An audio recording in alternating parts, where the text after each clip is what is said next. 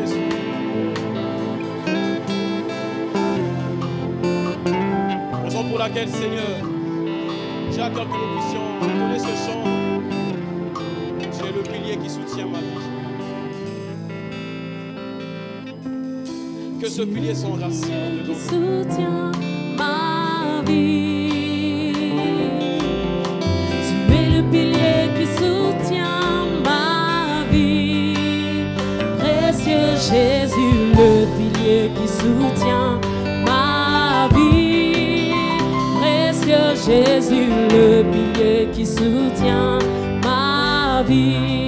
Tu es le pilier. Tu es le pilier qui soutient ma vie. Oh, tu es le pilier. Tu es le pilier qui soutient ma vie. Précieux Jésus, Précieux Jésus, le pilier qui soutient ma vie. Précieux Jésus,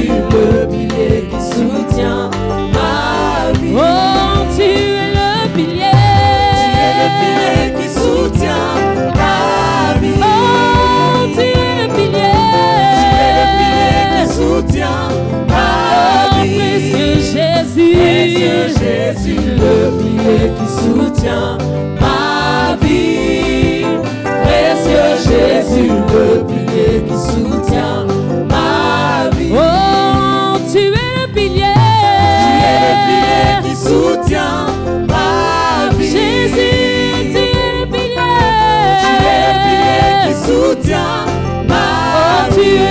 pour moi. Précieux Jésus, le pilier qui soutient ma vie? Précieux Jésus,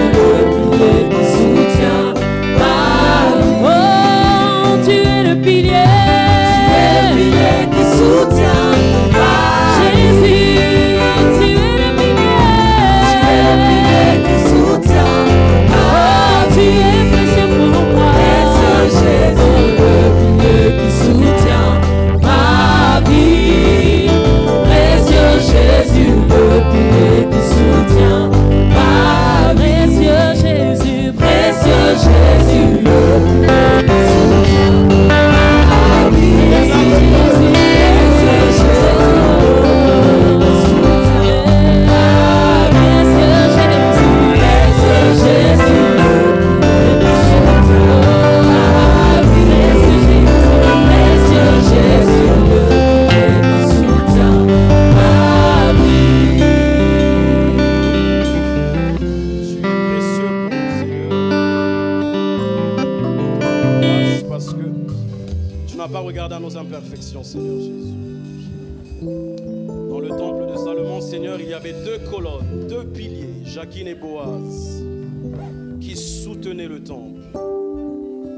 sommes le temple de l'Esprit, Seigneur, sois la colonne qui nous soutient. De telle sorte que, Seigneur, nous puissions nous appuyer sur toi. Dans le merveilleux nom de Jésus. Amen. Merci Seigneur. Merci à la chorale.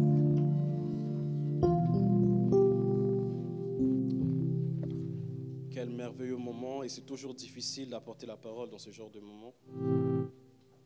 Mais avant de commencer, j'aimerais remercier une fois de plus notre papa, l'apôtre Douglas, qui est en mission et qui passe les salutations à l'Église. Pour la marque de confiance, pour comment il nous forme et comment après il nous, euh, nous lance des fois. Mais nous rendons grâce à Dieu. Et c'est jamais facile de venir ici, c'est jamais facile de se tenir ici debout. Des fois, on peut croire le fait de se tenir ici, c'est facile, c'est euh, une habitude, mais c'est jamais une habitude. Je vous assure qu'on sait très bien cacher le stress. C'est juste ça. Et j'en profite aussi pour euh, remercier maman, maman qui représente toujours papa. Est-ce que nous pouvons acclamer le Seigneur pour maman Lydie?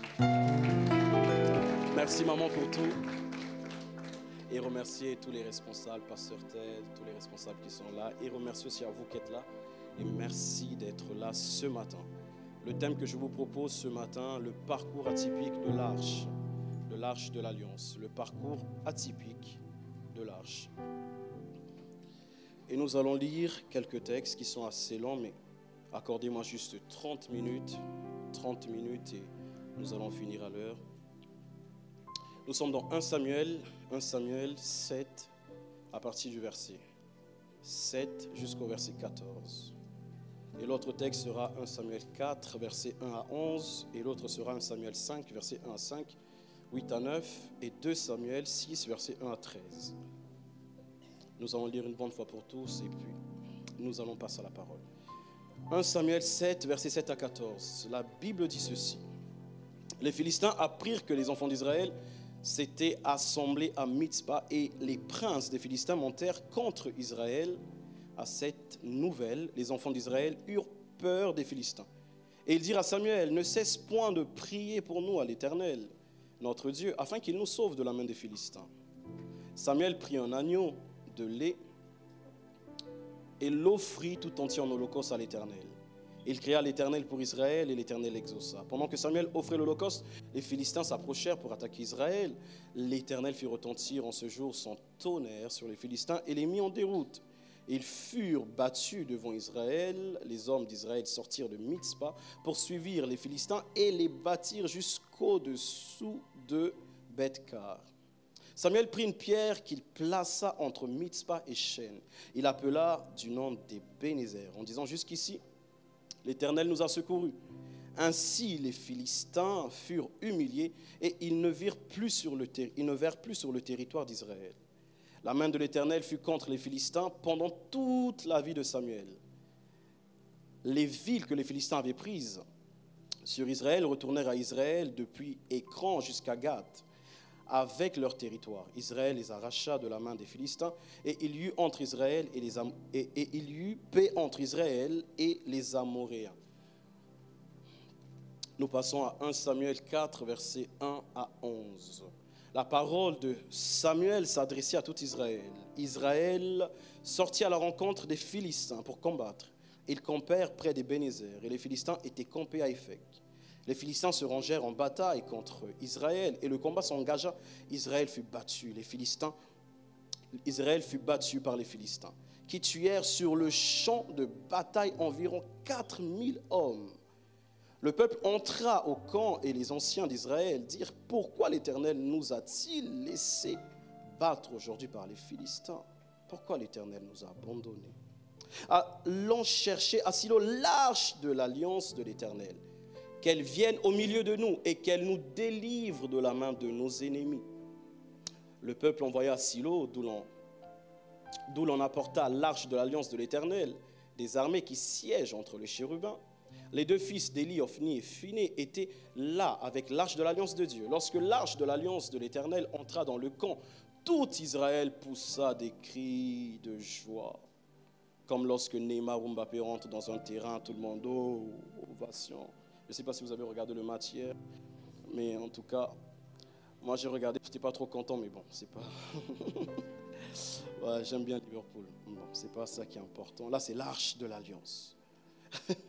le retentissement de ces cris fut entendu des Philistins. Et ils dirent que signifient ces grands cris qui retentissent dans le camp des Hébreux? Et ils apprirent que l'arche de l'Éternel était arrivée au camp. Les Philistins eurent peur parce qu'ils crurent que Dieu était venu dans le camp. Malheur à nous, dirent-ils, car il n'en a pas été ainsi jusqu'à présent. Malheur à nous. Qui nous délivrera de la main de ces dieux puissants?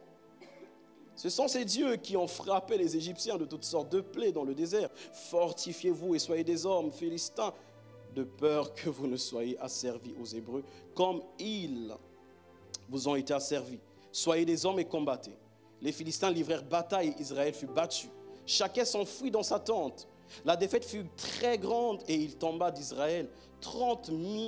Encore Israël perd une fois de plus 30 000 hommes de pied meurent. L'arche de Dieu fut, prise et les deux fils d'Élie, Ophni et Phiné, moururent.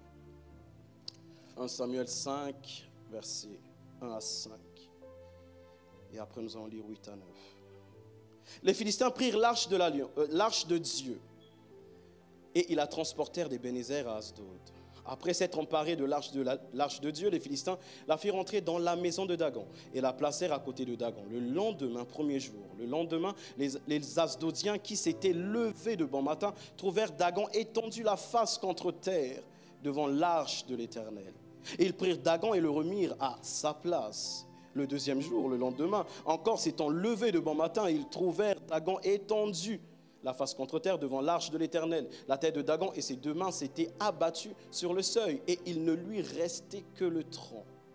C'est pourquoi, jusqu'à ce jour, les prêtres de Dagon et tous ceux qui entrent dans la maison de Dagon à Asdod ne marchent point sur le seuil. Verset 8. Dagon entre Dieu, non plutôt, et ils firent chercher et assemblèrent auprès d'eux tous les princes des Philistins. Et ils- tous les princes des Philistins, et ils dirent, que ferons-nous de l'arche du Dieu d'Israël? Les princes répondirent que l'on transporte à Gath l'arche du Dieu d'Israël. Et l'on y transporta l'arche du Dieu d'Israël. Mais après qu'elle eut été transportée, la main de l'Éternel fut sur la ville et il y eut une très grande Il frappa les gens de la ville depuis le plus petit jusqu'au jusqu'au grand et ils eurent une éruption d'hémorroïdes. 2 Samuel 6, versets 1 à 13.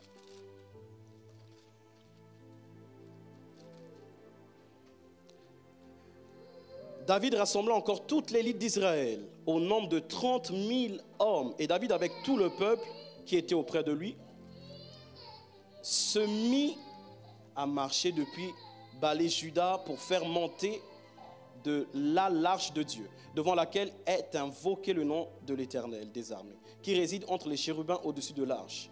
Ils mirent sur un char neuf l'arche de Dieu et l'emportèrent de la maison d'Abinadab sur la colline. Uza et Ashjo, fils d'Amina- d'Aminadab, conduisaient le char neuf. Ils l'emportèrent donc de la maison d'Aminad- d'Aminadab sur la colline. Uza marchait à côté de l'arche de Dieu et Ajo allait devant l'arche. David et toute la maison d'Israël jouaient devant l'Éternel de toutes sortes d'instruments de bois, de cypres, des harpes, des luttes, des tambourins, des sistres et des cymbales. Lorsqu'ils furent arrivés à l'ère de Nacan, Usa étendit la main vers l'arche de Dieu et la saisit parce que les bœufs la faisaient pencher. La colère de l'Éternel s'enflamma. Assez bizarre. Dieu se laisse capturer par les Philistins sans créer de mort, mais ici, Usa, avec des bonnes intentions apparemment, essaie de tenir l'arche, mais la colère de l'Éternel s'enflamme contre Usa. Et Dieu le frappa sur la place à cause de sa faute. Usa mourut là, près de l'arche de Dieu. David fut irrité de ce que l'Éternel avait frappé Usa d'un tel châtiment. Et ce lieu a été appelé jusqu'à ce jour Péretz Usa. David eut peur de l'Éternel en ce jour-là et il dit, comment l'arche de Dieu entrerait-elle chez moi? Il ne voulut pas retirer l'arche de l'Éternel chez lui dans la cité de David. Et il la fit conduire dans la maison d'Obed-Edom de Gath. Il avait peur de l'arche et il envoie quand même à quelqu'un d'autre, David, vraiment. L'arche de l'Éternel resta trois mois dans la maison d'Obed-Edom de Gath. Et l'Éternel bénit Obed-Edom et toute sa maison. On vint dire au roi David, l'Éternel a béni la maison d'Obed-Edom et tout ce qui est à lui à cause de l'arche de Dieu. Et David se mit en route et il fit monter l'arche de Dieu depuis la maison d'Obed-Edom jusqu'à la cité de David. Au milieu des réjouissances, quand ceux qui portaient l'arche de l'Éternel eurent fait six pas, on sacrifia un bœuf et un veau gras. Bon, on va s'arrêter là. Les textes que nous avons lus, bien aimés, sont très intéressants. Pourquoi? Parce que ces textes parlent d'un parcours assez inhabituel, un parcours atypique.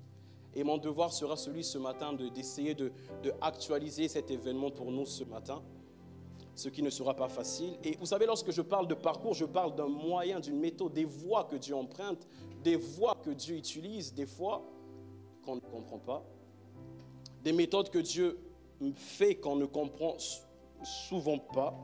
Mais tout cela, Dieu en fait a un but, il veut toujours atteindre un objectif.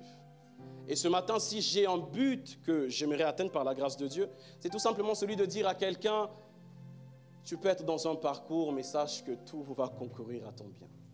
Ça peut être un parcours assez difficile, mais comme on l'a dit ce matin, tout va concourir à ton bien et que Dieu contrôle de tout.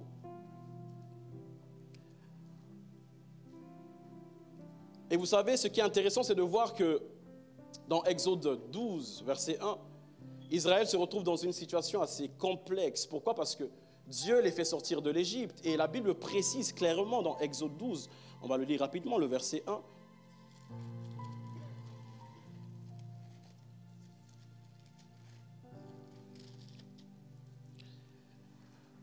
L'Éternel dit à Moïse et à Aaron dans le pays d'Égypte, euh, attendez.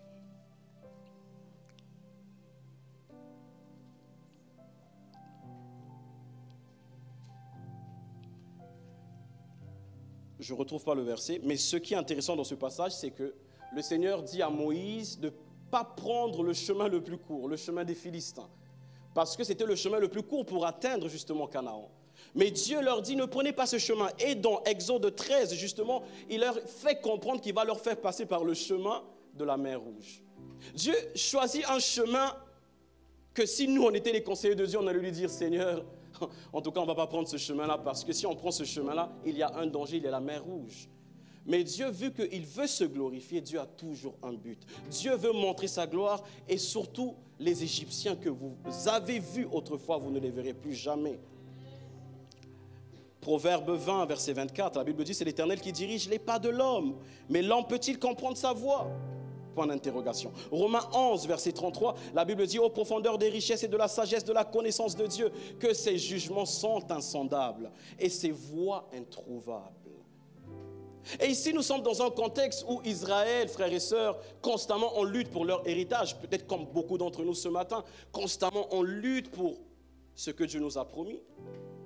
Israël se retrouve une fois de plus à défendre ses territoires, à défendre ce que Dieu lui a donné. Et c'est toujours les Philistins, les ennemis jurés d'Israël.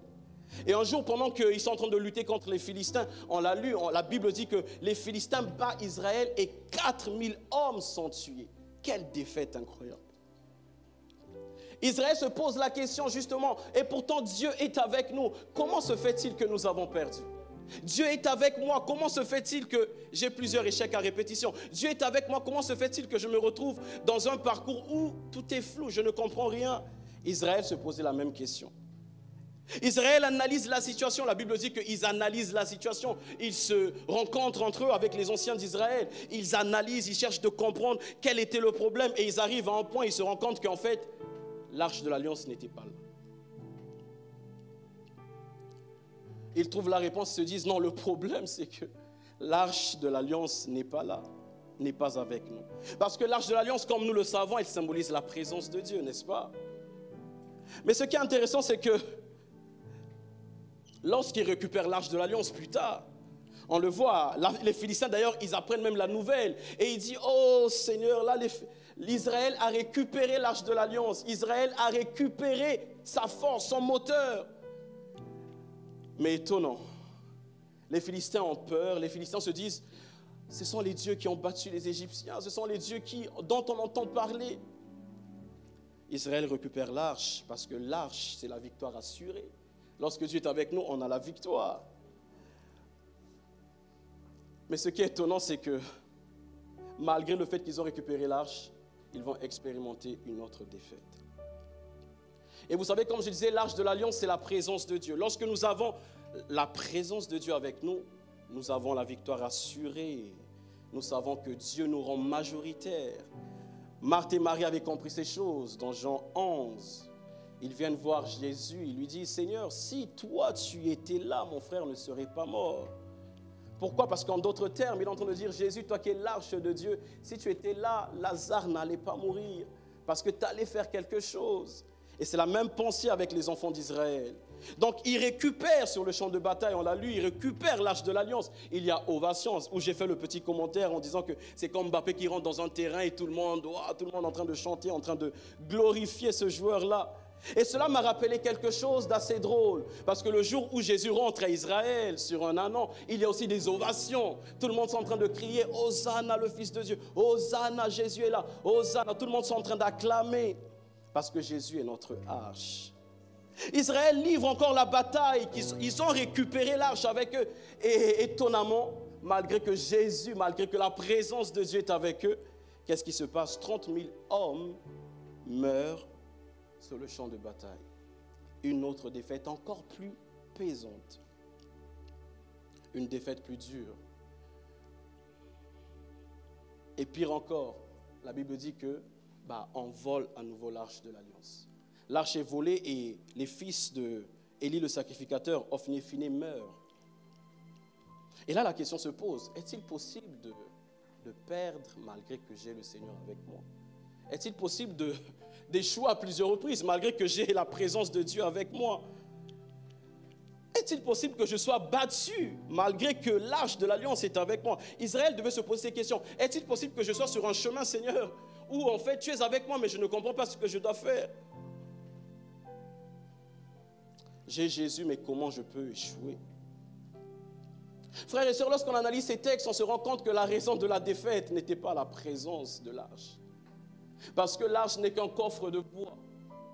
Vous pouvez avoir la présence de l'arche, mais ne pas avoir l'alliance. Car elle s'appelle arche de l'alliance. Donc sans l'alliance, l'arche n'est qu'un coffre de bois. Et on se rend compte que dans, ces textes de 1 Samuel, on se rend compte que, en fait, Israël faisait tout ce qui déplaît à l'Éternel. Tout ce que l'Éternel n'aimait pas. Donc, en quelque sorte, l'alliance avait été brisée. Sans alliance, l'arche n'est qu'un morceau de bois. On peut venir à l'église et venir juste dans un bâtiment parce qu'on n'a pas une alliance avec le Dieu de la maison. Beaucoup justement vivent certaines défaites parce que l'alliance a été brisée. Beaucoup s'attachent d'ailleurs aux choses extérieures. Et c'est ce qu'Israël fait. Israël s'attache aux choses extérieures en fait. Il s'attache au coffre de bois, aux choses extérieures qui est tout simplement bah, le bois, le coffre. 1 Pierre 3, verset 3, la Bible dit Ayez non cette parure extérieure qui consiste dans les cheveux tressés, les ornements d'or ou les habits qu'on revêt, mais la parure intérieure est cachée dans le cœur. La pureté incorruptible d'un esprit doux et paisible qui est d'un grand prix devant Dieu. La version parole vivante d'Alfred Cohen dit ceci. Vous voulez être belle, ne recourez pas des moyens extérieurs. Coiffure savante, bijoux d'or, tenue élégante et recherchée. Que votre beauté réside dans votre être intérieur, dans le charme impérissable d'un esprit doux et paisible. Voilà la parure à laquelle Dieu attache un grand prix.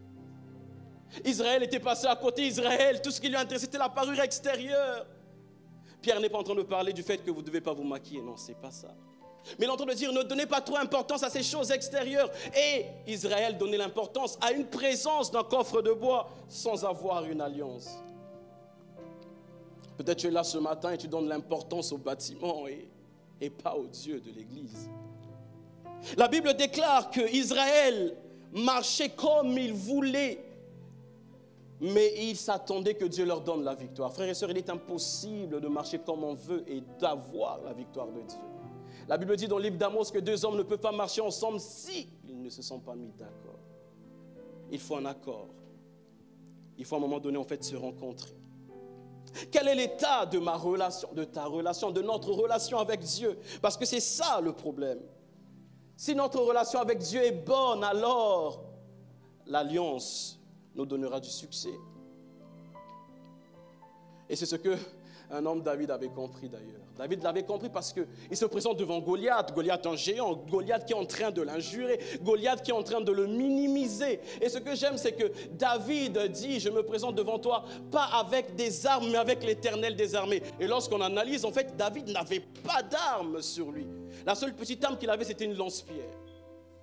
Mais pourquoi? Parce que David avait compris que le peu que j'ai, cette lance-pierre, l'éternel des armées est dans cette lance-pierre. Autrement, David avait compris que Goliath, toi tu peux être géant, mais moi je peux être petit, mais derrière ma petite taille, il y a le géant des géants.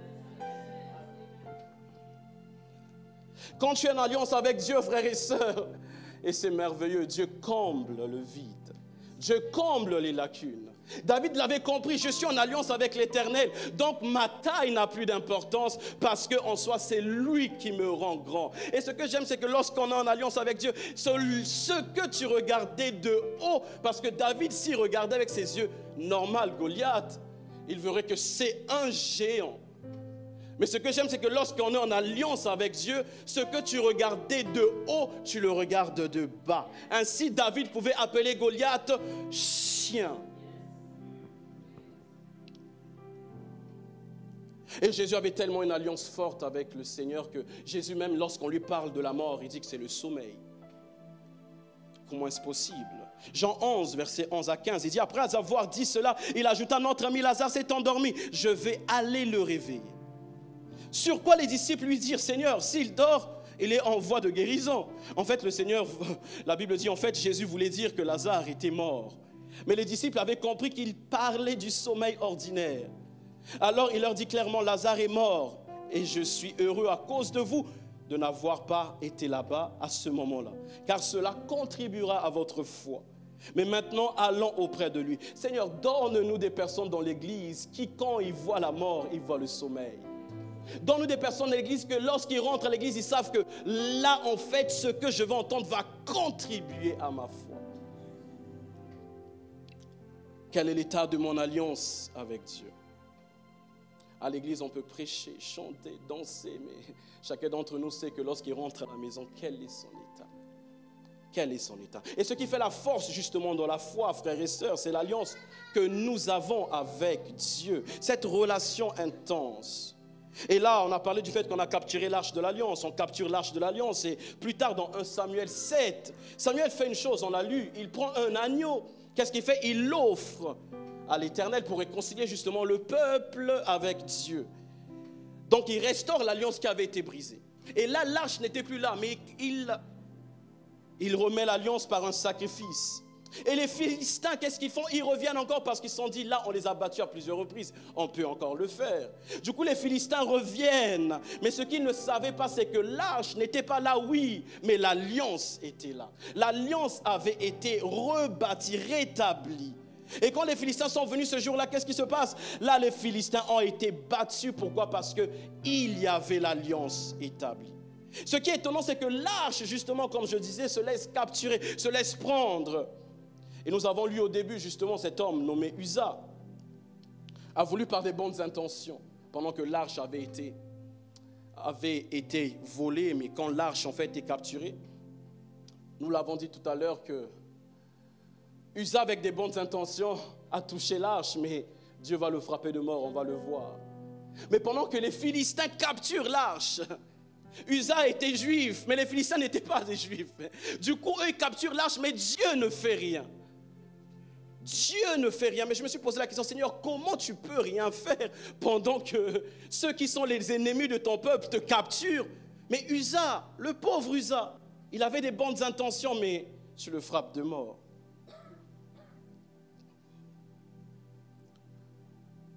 Assez étonnant. Mais ce que j'ai vu en lisant ces passages, je me suis rendu compte que l'arche voulait faire quelque chose de très important.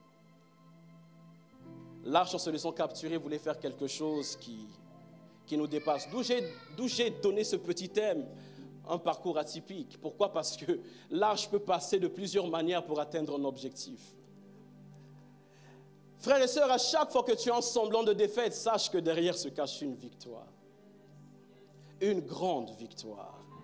Et l'arche me rappelle Jésus parce que tout, finalement, dans la Bible ne parle que du Seigneur, ne parle que de Jésus. Lorsqu'il rentre à Jérusalem, on parle justement de ces réjouissances qu'il y a, des ovations. Mais en rentrant en, en entrant justement à Jérusalem, il est capturé par des Romains. Il est capturé par des Romains, il est frappé. On le met à la croix. Et sûrement, ils ont dit, c'est lui votre Dieu, regardez. On insulte Jésus.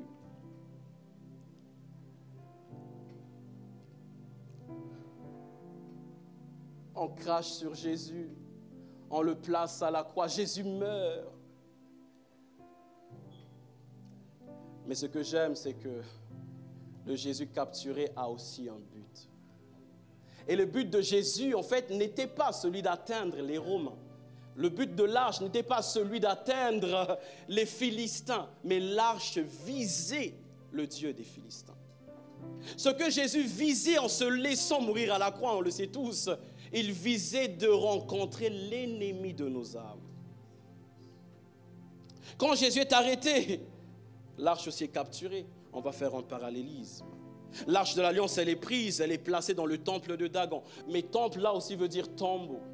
Jésus est pris, il est mort à la croix, il, on le capture, il est mort à la croix, on le place aussi dans un tombeau. Et on entend que le premier jour, on place l'arche dans le temple de Dagon. Le premier jour, Jésus est dans le tombeau. Le deuxième jour, les Philistins rentrent dans leur temple, ils voient Dagon en train de se prosterner justement devant l'arche de l'alliance. Ils relèvent leur dieu Dagon, ils le fortifient. Le troisième jour, et ils voient Dagon encore prosterné avec la tête, et la Bible précise la tête, les bras coupés. Très étonnant. Et la Bible précise qu'il ne lui resta que le tronc. Le tronc, c'est que cette partie-là. Et ce jour-là, en fait, il décide de sortir, c'était le troisième jour, il décide de sortir l'arche du temple, parce que justement, ils en avaient marre. Et le troisième jour, Jésus est sorti du temple. Et j'en avais déjà parlé autrefois lorsque je parlais de Gaza, de Gath, d'Asdod. En parlant de Dagon, on dit que l'arche de l'alliance, justement, lorsque il, enlève les bras, il enlève euh, tout ce qui fait de Dagon un être humain. D'ailleurs, quand vous regardez sur Google, vous pouvez voir Dagon, en fait, c'était le dieu des Philistins. Et il avait l'apparence d'en haut d'un homme, mais l'apparence d'en bas, il était comme une sirène. Il était un poisson. En bas, c'était la queue d'un poisson. En haut, c'était un homme. Et ce qui se passe, c'est que lorsque le Seigneur, justement, en fait, enlève les bras, la tête et tout ce qui fait de lui un homme, bah, on dit que ne lui resta que le tronc, c'est la partie du poisson qui reste. Quand pour dire Dieu s'occupe tout ce qui fait de Dagon un être humain fort, mais il laisse ce qui fait de Dagon un être faible. Pourquoi? Parce que dans Genèse, justement, la Bible dit dans Genèse 1, on nous parle du fait que lorsque Dieu a parlé à l'homme, lorsque Dieu a donné la puissance à l'homme, il lui dit, tu domineras sur les poissons. Autrement dit, en fait, le temps qu'il laisse, c'est pour tout simplement dire à Dagon, Dagon, non, pour tout, simplement dire à Israël, Israël, j'enlève tout ce qui est fort, mais je te laisse que le temps parce que toi, tu domines sur le poisson. J'aimerais dire à quelqu'un, tu domines sur les poissons. Raison pour laquelle Jésus, justement, avant de partir, il nous a dit, je vous donne le pouvoir de marcher sur les serpents et les scorpions et sur toute la domination de l'ennemi. Et vous vous êtes même posé la question en lisant ce passage, pourquoi seulement le serpent et le scorpion? Pourquoi pas l'éléphant? Pourquoi pas la girafe? Pourquoi pas le lion? Pourquoi pas le guépard?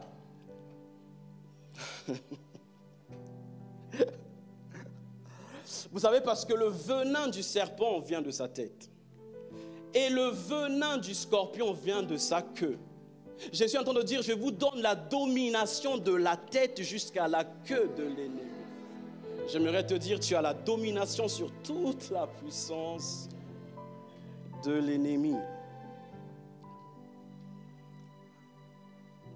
L'arche coupe la tête de Dagon et les mains et il ne lui resta plus que le tronc et voilà que l'arche sort.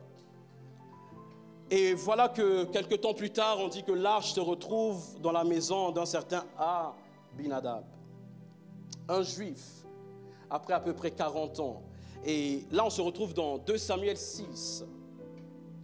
Un autre roi était venu qui s'appelait Saül. Il a régné à peu près 40 ans et après lui est venu David. Et lui, David, il aimait les choses de Dieu. David, il avait à cœur les projets de Dieu. David aimait tout ce qui concernait Dieu. Du coup, il se dit, non, en fait, là, à un moment donné, il faut, retrouver l'arche. Il faut que l'arche rentre chez lui. L'arche rentre à la maison. L'arche rentre dans la cité de David. Et là, voilà que Israël orchestre tout pour que l'arche puisse revenir, pour que l'arche puisse rentrer à la cité de David. Et voilà qu'en plein milieu de réjouissance, c'est comme peut-être beaucoup, voilà que quand tu commences à te réjouir pendant un parcours, quand tu commences à te réjouir sur le chemin, tu te rends compte qu'en fait, à un moment donné, il y a toujours un malheur qui arrive. Il y a toujours quelqu'un qui vient pour déstabiliser quelque chose. Il y a toujours une situation qui vient pour t'empêcher de, de sourire et de jouir au maximum de tes moments de joie. Et c'est là, pendant qu'ils étaient en train de se réjouir, qu'est-ce qui se passe? C'est qu'au milieu de ces réjouissances, voilà qu'il y a un malheur qui arrive. Ah, un homme nommé Usa. La Bible dit qu'il était proche de l'arche, il était derrière et regardait. Parce que l'arche était sur des bœufs et pendant que l'arche avançait, lui, il était là derrière, il regardait, il analysait tous les mouvements.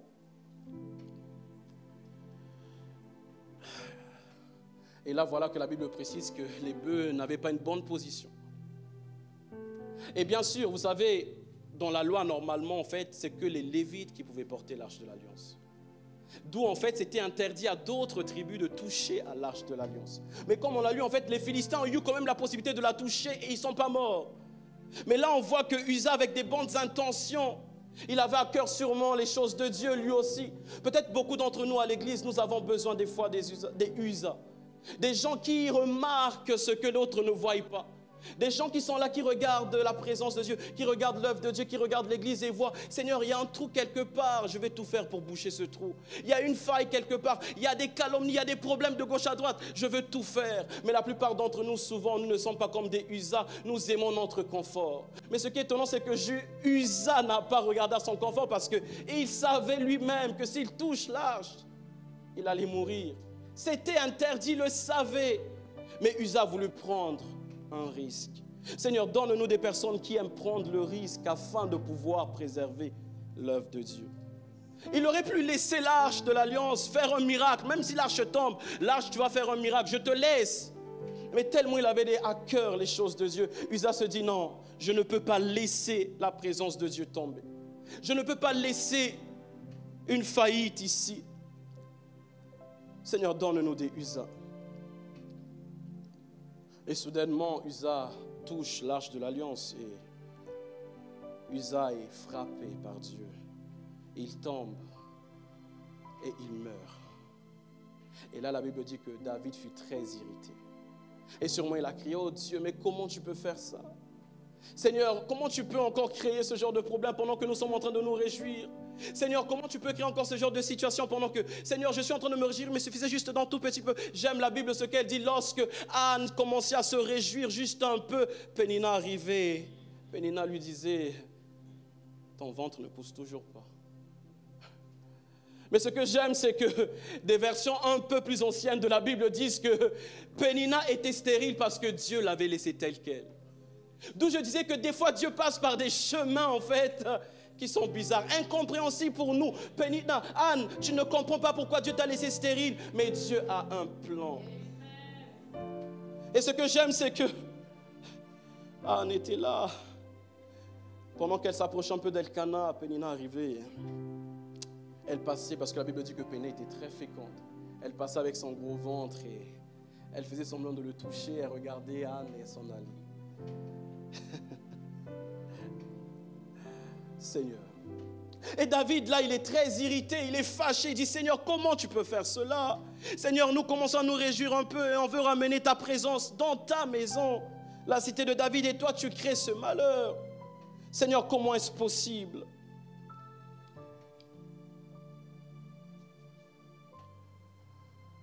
Ce que j'aime, c'est que tout parle de Jésus, même Jésus, la raison pour laquelle il est mort. Je l'avais dit dernièrement, c'est parce qu'il a voulu tout simplement toucher le sacerdoce. Et il est mort pour cela. Jésus n'était pas de la tribu de Lévi, il était de la tribu de Judas. Mais parce qu'il a voulu toucher ce qui est sacré, Dieu l'a tué.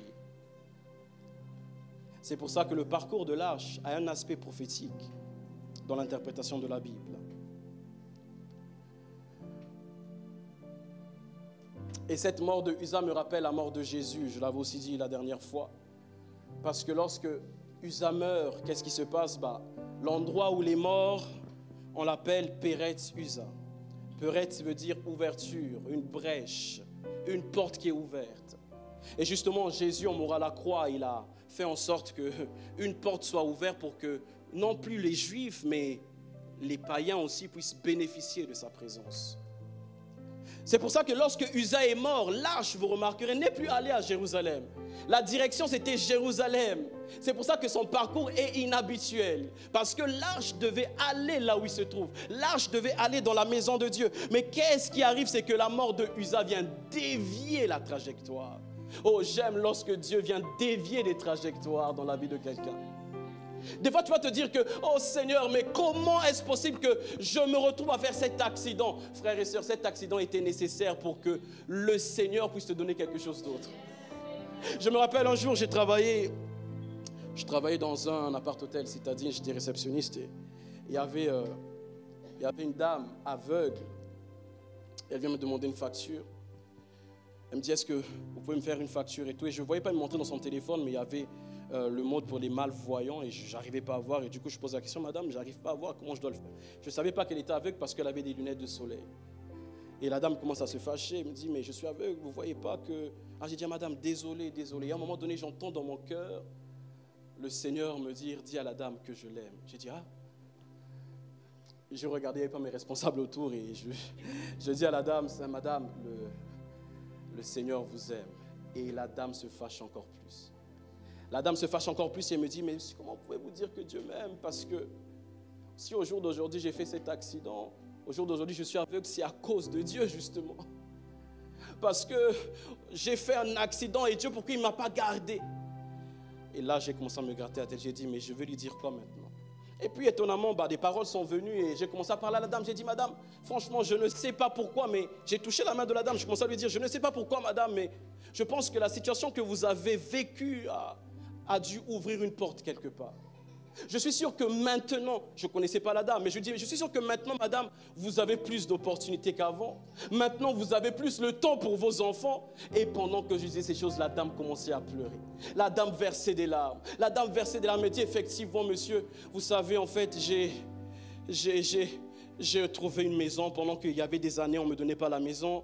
Là, je passe plus de temps avec ma fille pendant que je ne calculais pas ma fille. Et je dis, ah Seigneur, tu es fort. La dame commençait à verser l'âme et, et à la fin, elle me dit, monsieur, vous m'avez redonné la foi en votre Dieu. J'ai dit, Seigneur. Et des fois, Dieu dévie des trajectoires dans la vie de chacun d'entre nous, frères et sœurs. C'est tout simplement pour vous dire que derrière ce malheur se cache peut-être un bonheur.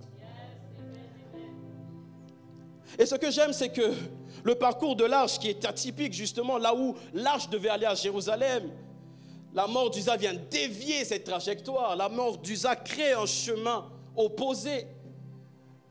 Et c'est la même chose qui est arrivée avec Jésus, parce que la Bible dit de Jésus qu'il est venu chez les siens, et les siens ne l'ont pas accepté.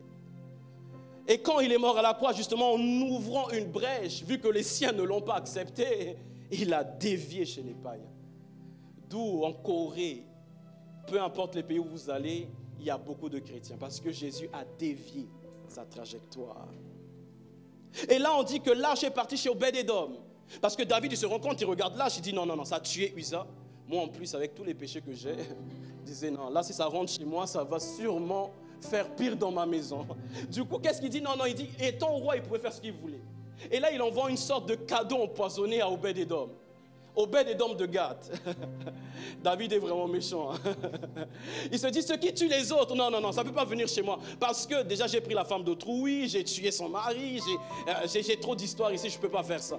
Du coup, va envoyez l'arche là-bas chez Obed-Edom. Et Obed-Edom ne pouvait rien dire parce que c'est le roi qui décide. Du coup, Obed-Edom reçoit l'arche à la maison. Et je suis sûr qu'avant que l'arche même rentre, ils sont re- retrouvés avec sa famille. Et sûrement, ils ont fait une prière. Ils ont dit, ah, en tout cas, ils ont sûrement fait une prière en famille, Seigneur. Protège-nous. Parce que ici, là, là, on n'a pas de bonnes informations. Et à chaque fois, sûrement s'il avait des enfants, il voyait ses enfants se rapprocher de l'âge. Il courait. Non, non, n'y va pas. Attention. Je suis sûr que même si l'arche était en plein milieu du salon, je ne sais pas quelle place elle prenait, mais s'il fallait peut-être passer par, passer par le salon pour aller à la cuisine, il devait sûrement passer de cette manière-là parce que si je touche Obed-Edom. Obed-Edom était de Gath, il n'était pas juif, il était un païen. Et ce que j'aime, la Bible précise que trois mois, trois mois, la première semaine, l'arche ne tue personne. La deuxième semaine, au bout de trois mois. Et pendant que l'arche ne tue personne, on voit que la maison d'Obed-Edom prospère. Elle prospère toujours, elle prospère. Et c'est assez bizarre. C'est assez bizarre, pourquoi? Parce que David entend les échos. Il se dit, mais attends, ce qui tuait les autres n'est pas en train de tuer Obed-Edom. Mais là, il faut récupérer l'arche. Comment ça se fait que l'arche là-bas est en train de faire prospérer la maison d'Obed-Edom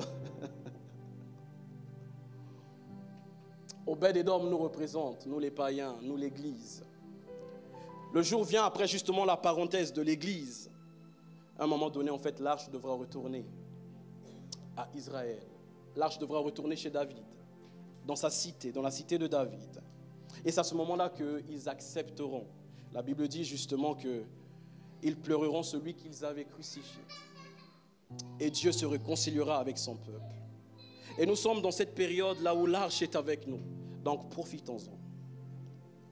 David se fâche, David est irrité. David, d'ailleurs, quand il apprend que l'arche fait prospérer la maison d'Obed-Edom, il se dit non, il faut, il faut récupérer cette arche, il faut récupérer ça, parce que là, ça va redonner, ça va redonner la prospérité à ma maison.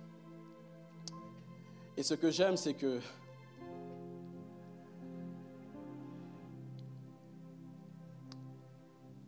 plusieurs personnes, des fois, on peut vous souhaiter le malheur, on peut vous envoyer en cadeau empoisonné. Mais ce que j'aime, c'est que le malheur atteint souvent les justes, mais l'Éternel en délivre toujours.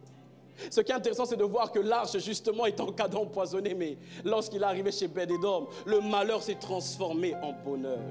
Seigneur, fais en sorte que, Seigneur, lorsque quelqu'un parlera mal de moi, que ce mal se transforme en bonheur dans ma vie. Joseph l'avait compris.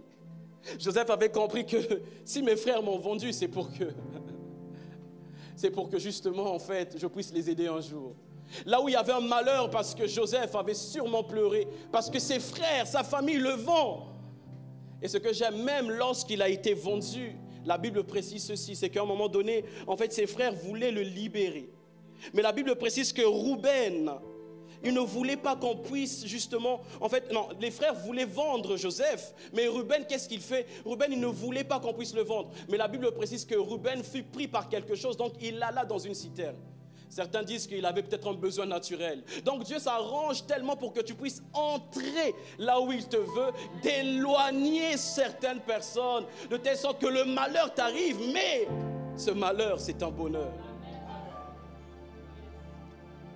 J'aimerais dire à quelqu'un ce matin, on l'a chanté d'ailleurs, tout concourt au bien de ceux qui aiment l'éternel. Ma prière en ce jour, c'est que Dieu puisse confondre tout simplement nos ennemis. Dieu puisse confondre ceux qui nous veulent du mal, de telle sorte que là où ils ont projeté des choses, que ces choses deviennent une bénédiction pour nous. J'avais dit 30 minutes et nous sommes déjà à 43. Je vais juste appeler la chorale. Nous allons prier.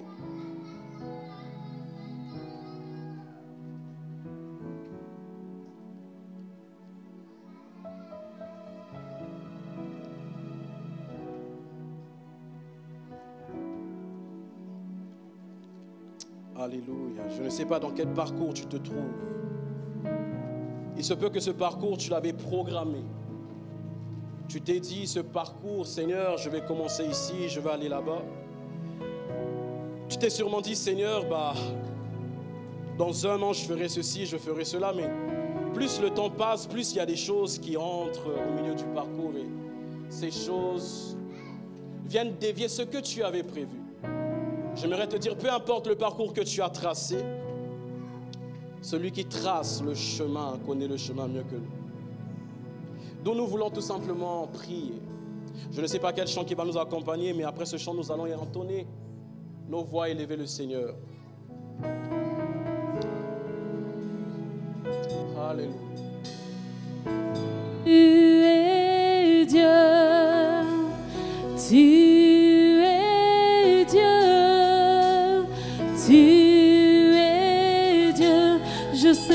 Tout concourt à mon bien. Je sais que tout concourt à mon bien.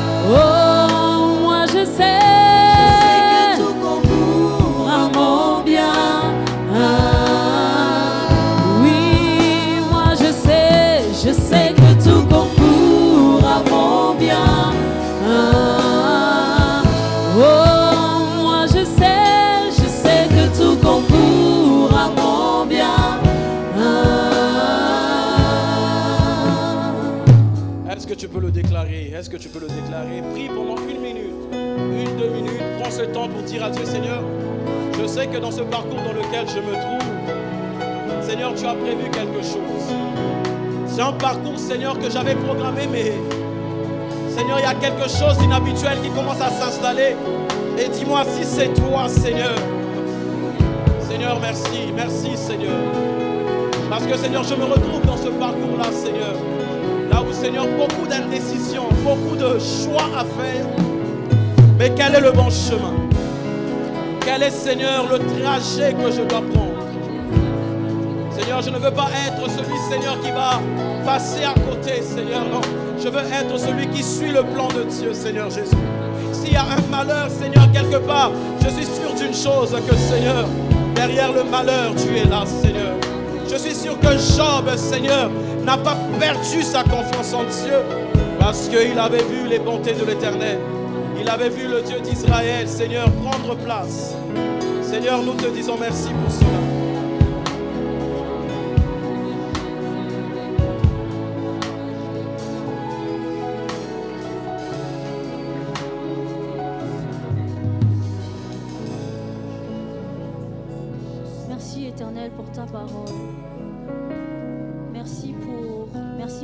Paroles, Seigneur, que tu es, que tu es venu encore déposer dans le cœur de tout un chacun d'entre nous. Merci éternel pour, ces, pour, pour cette parole d'encouragement.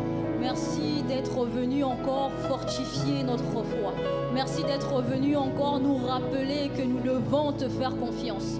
Qu'importe le chemin que nous prenons, qu'importe ce par quoi nous passons, nous devons te faire confiance car tu es au contrôle de toutes choses. Tu es au contrôle de toutes choses. Tu es assis sur ton trône et tu maîtrises. Tu es assis sur ton trône et tu gouvernes. Tu es assis sur ton trône, Seigneur, et tu contrôles. Merci, Jésus. Merci, éternel. Merci, éternel. Merci. Amen.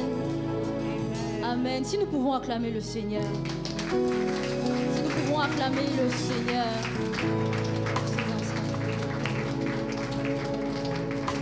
Nous allons, nous allons passer au, au moment des offrandes. Si l'accueil peut, peut, nous, peut nous aider, s'il vous plaît.